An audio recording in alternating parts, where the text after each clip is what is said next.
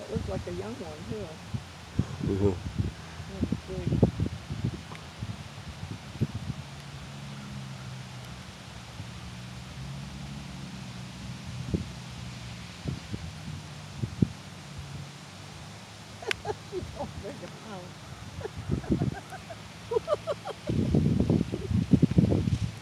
Here comes another one.